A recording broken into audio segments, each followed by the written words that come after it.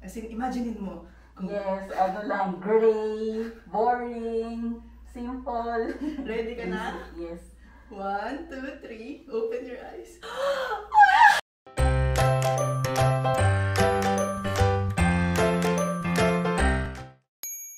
Hi, this is Elle and welcome to another budget makeover. Ang makeover natin ngayon is this 18.6 square meter na unit and ang owner is si Emma. Hello! Hi! So, andito tayo ngayon sa space niya. Hindi pa nila to natitirhan. Parang ano nyo to, di ba? Halfway house, Yes. investment property, pahingahan, ganyan. Oo. Ano bang gusto mo maging function nitong space para sa family? Tulugan, ah, konting storage for Mga, clothing. yung mga gamit. Tapos, ang dami yung kitchen stuff. Hindi akin yan. Hindi ako mahilig mag- mag-cook. Sa husband ko yan Ah. lahat. Kinumplete niya lahat ng gamit niya. So basically, medyo decent na cooking area. Ki- ano, kitchenette lang. Kitchenette lang kasi sa Ah. totoo lang ngayon sink lang yung meron sila dito. Actually, challenge talaga to eh. Sobrang Technically. challenge. Actually, nung titignan ko nga ngayon, parang sa 18.6 na square meter nito, majority, ang laki mga sa banyo. Oo. Sa totoo lang. So, ipa-flash ko kung ano talaga yung size na wino-work with natin. Ang challenge nga natin dito is magkaroon sila ng sleeping area, decent na kitchenette area, konting storage. Kaya, aliga na. Simulan na natin to. Makeover na to. Hello! First day natin. Ang unang-unang gagawin is, ipwesto muna natin para siguraduhin natin tama yung mga pinag-iisip ko. Itong sofa bed, ikutin natin. Okay. Tapos yan dito sa kitchen. Like, i-ano na natin lahat ng pwesto. Ayan na siya.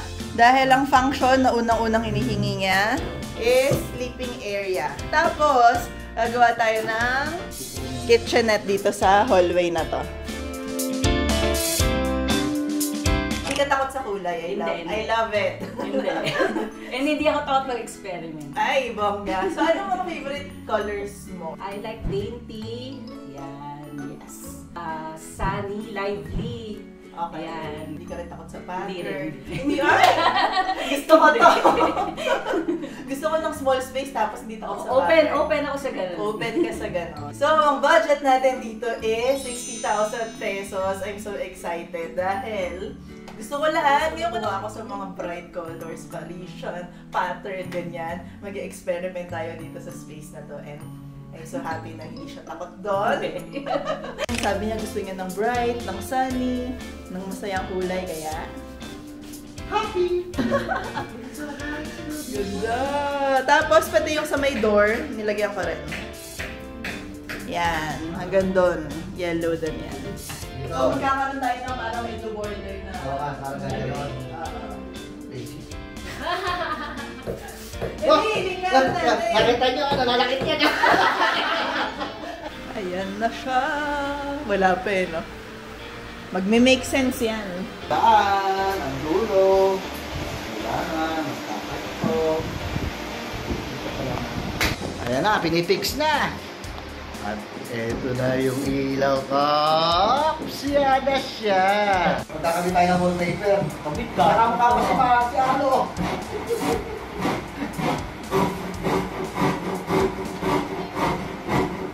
In terms naman dun nga sa look, anong design style? Ganyan. Mga Parisian inspired na para siyang ano dollhouse. Ay, gusto ko ng dollhouse. Alam Alam yung niyo mga gamit mo. Pero I don't know kasi kung paano siya yung ano yung ganung type ng fusion na experimental, Ay! di ba? Gusto ko yung may mga pa-challenge na ganyan eh. Paano mo daw ikaw combine-combine Parisha tapos may modern. Hmm. na parang paper. Na, pa- oo, na parang dollhouse. so, share ko sa inyo yung design natin para dito sa unit. And, ang unang sabi niya, di ba, gusto niya ng tulugan dito. So, ito yung sofa bed nila na existing. Tapos, meron silang kutsyon. Ito yun, papagawa tayo ng parang daybed type para maging L-shape siya. Gusto niya ng kitchenette dito. Itong hallway nila, malapad-lapad yan. Kaya, dyan natin lalagay yung kitchen nila. Bibili lang tayo ng dresser. Tapos, ito na yung existing nila na kitchen cabinet. Then, lalagay tayo ng tiles, ng shelf, ng storage. So, anong message mo sa sa future set, sa reveal self mo? Kunwari, bago ka pumasok dito. I don't know, ano ngayon, medyo, ano ko, uh, mababawan tears ko pag Ay! happy ako. Talagang Oo, na, i-show ano, ah, oh, expressive akong tao. Yeah, so yan. Tignan natin, future Emma, ano nga bang magiging reaction mo dito? Dumating. Sabi nila, masyado akong maaga, ginugulo ko yung buhay nila. Totoo naman eh. Sobrang yung cute! Ayaw ko masyadong pakita kasi na, buo na siya. Pero, ayan na yung kulay. Ito na yung wallpaper natin. Ang ganda. And ito yung tile sticker natin sa kitchen. Ang cute! Next natin is magkakabit na tayo dito ng rod. Yan. So, ito yung ano natin, marble sticker natin para dito sa folk countertop nila. Ang cute! Macho! Buisit. Nagkaroon po ng beach. Dun sa wallpaper wall natin, lalagay tayo ng mirror. So, apat yan. Dikit-dikitin natin dito. Look, yung upper cabinet natin, pinalagyan ko rin ng wallpaper dyan. And, kakabit tayo dito ng tatlong artwork. Vintage vibe. Ang cute! Ah! Ganda! Yan yung ilalagay natin dun sa frame.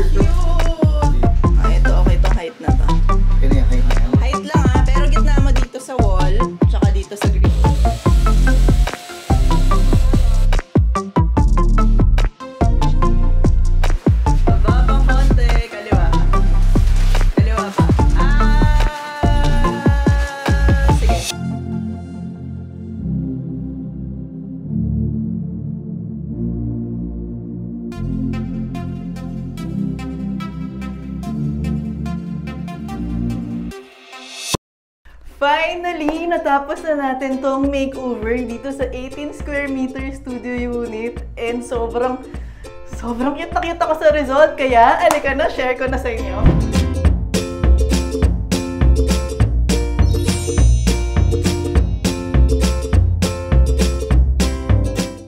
So, pagpasok sa door, dito sa right side, nilagay lang natin yung artwork na to. Originally, ayan, electrical panel siya. So, sobrang dali lang niyang ilagay. And dito naman sa left side, ilagay tayo ng hook, sabitan niya ng mga bags. Meron din tayo ditong cute na small mirror lang para dito sa parang mini foyer nila. Pinalitan din natin yung ilaw nila kasi originally, bulb lang siya dito. Siyempre, gusto nating maging mas maganda, mas bumagay siya sa team natin. And isa sa pinaka-request niya is magkaroon ng kitchenette. Dun sa before, yung ano nila, meron lang silang like iba-ibang pieces. Like very hiwa-hiwalay nung itsura ng kitchen. So yun talaga yung gusto kong i-provide sa kanila na magkaroon ng medyo functional na kitchenette. Nilagay natin drain rack is yung hindi na nakastorbo sa counter niya. Itong nakasabit na lang dito. Yung clock niya, kinip din natin siya. And syempre, ang pinaka dinagdag natin dito sa kitchen para magbuo yung look is itong side na to. Itong cabinet na to, kinip natin to. Pero, pinapaint lang natin siya ng white para bumagay dun sa look. And syempre, para mabuo yung look, nakita niyo sa sink natin kanina, nagpalagay tayo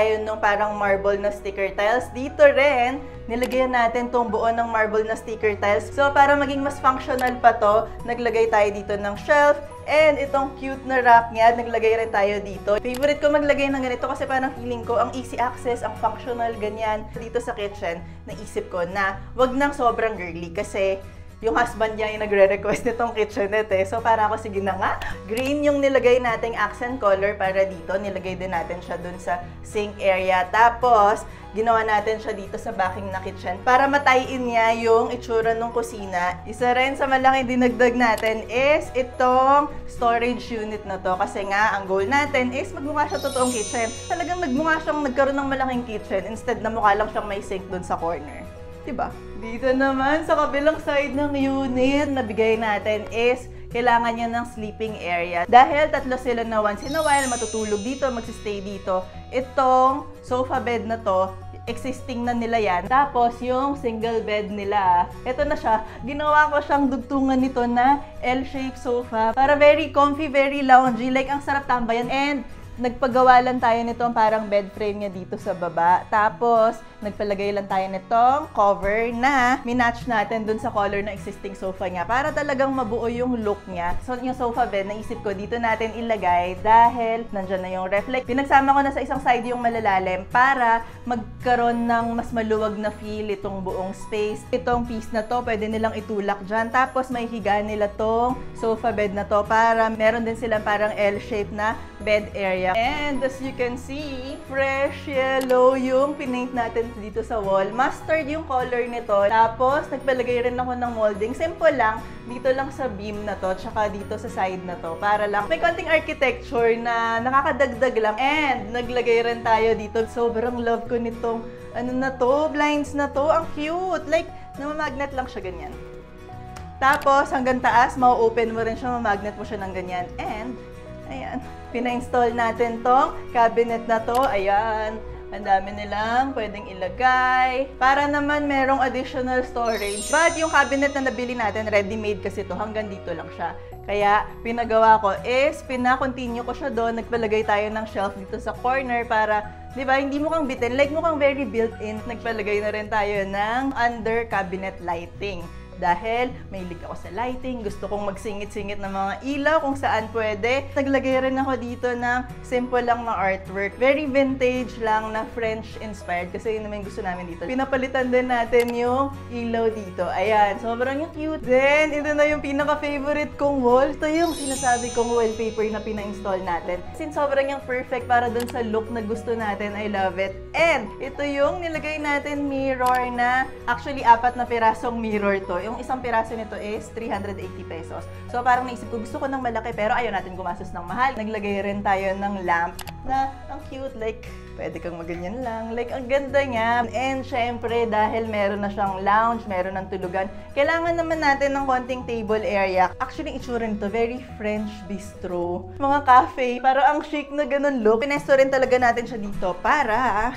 Ayan, pwede ka pa rin umupo, dalawa kayo. And magaan lang siya, pwede nilang ilipat-lipat para very flexible ng space. Pwede nilang i-reorganize yung space kung ano yung ginagawa nila that time. Dahil ang goal nga natin is maging very flexible and functional nitong space nila.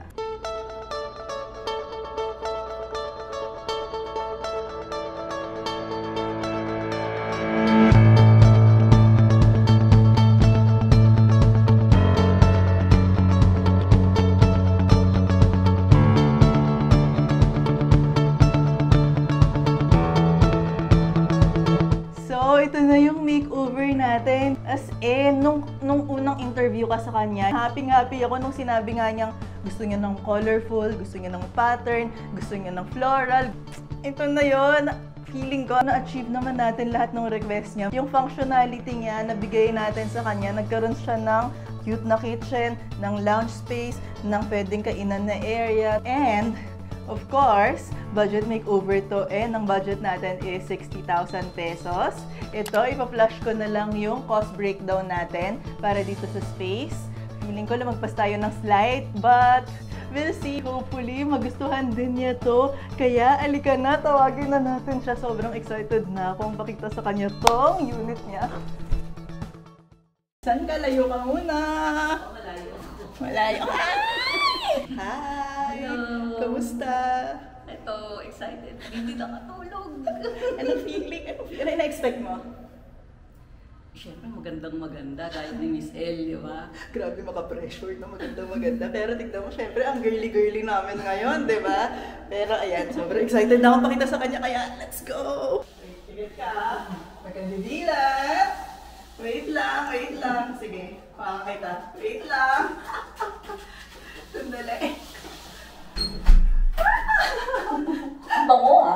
Mababa talaga. Amo May Euro. bago. Amo Euro. Dali, dali. Dito, first na lang tayo. Ayan. So, imaginein mo, anong itsura nitong unit mo before? As in, imaginein mo. Kung Yes, ano lang, gray, boring, simple. ready ka na? Yes. One, two, three. Open your eyes. Grabe! Ang ganda! Shucks! sabi ko yung akin sa kanya. Totoo yun! Totoo yan! Oh, Ayun! Yung ano mo, di ba? Yung sinabi mo sa akin, ito ba yun? Oo, grabe. Ang ganda-ganda talaga. Hey, di mo pala nakikita ito. Oo! Oh, ang galing! Meron ka ng picture! Yung parang pala ano, yung black grout na ah. nakikita ko dun sa vlogs. Ito pala yung ano, feeling. Oo, oo, oo. Ay, kasi hindi ako makapaniwala until na. Oo. na nanalo ko dito sa budget break. Uy, hindi naman winner ano to. ano pa rin siya. Pero ayan, natapos na natin. Hindi pa na siya makapaniwala, di ba? Oo, oo, oo. Hindi, go explore, explore kayo. Ang ganda talagang ano, ano. Naglagay ako ng ano talaga. Parang mirror para lumaki. Gusto kong i-request sana na parang may fake, ano, fake window. Pero ito na nga siya. Tsaka additional storage kasi wala kayong cabinet dito, wala kayong storage. So naisip ko nga Oo. ilagay yan. Oo, ang gaganda naman ito. Ayan, mga, kasi na-imagine ko feeling ko gusto mo ng mga French, French vintage look. So nilagay ko siya. Then syempre, may pailaw tayo. Galing, grabe. Hindi ko talaga ma-imagine na magiging ganito. Ganda-ganda nga. Kasi ah, hindi ko ma-imagine na ano yung talagang execution na ito na talaga. And, hindi ka ako dito sa bagong lounge area.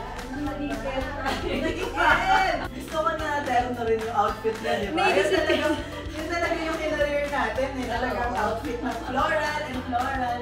Alam na alam niya yung gagawin kong look dun sa unit niya dahil tumero siya talaga. So, anong masasabi natin? Tagumpay! Grabe, ang ganda. Galing. Tagumpay na. Grabe sobra-sobrang blessings. Ang galing ng hands ni Miss L. At ng decor ni Happy Group. Yan, sila Miss Joanne, sila Kuya Arnel, lahat ng carpenters. Mula sa nag-wallpaper, nag-paint, maraming salamat po.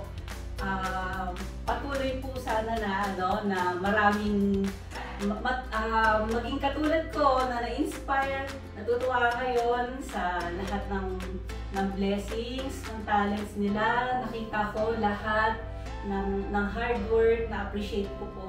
Salamat sa Thank you, thank you. I'm super happy na nagustuhan niya to. Yung ginawa natin, yung in-imagine natin, like, yun naman yung goal is maging happy sila. Kaya, super happy. Galing.